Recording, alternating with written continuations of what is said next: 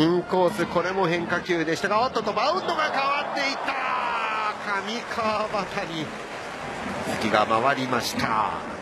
今トップスピンかかってたんですかね。いやもう、えートップスピンと言いますか、あの、はい。ただ単純にあのグラウンドの土でね、イレギュラーしました、そのイレギュラーですか、はちょっとこう一瞬打球が速くなるようなねバウンドになったんですけれども。完璧にドズマにしましたけど、高め要求。んショートへの打球強い打球ですさあショート上川端取って一塁送球なプレーになっています上川端ファインプレー強い打球でしっかりとね最後送球も間に合っています。いやもうここら辺の球際の強さはね、本当ピカイチですよね、本当ずっと彼の守備には注目して見てきたんですけど、ファーストへの内野安打だというシーンでした。あこれこれで今日2本目のヒットです。マルチヒットになりました上川端さ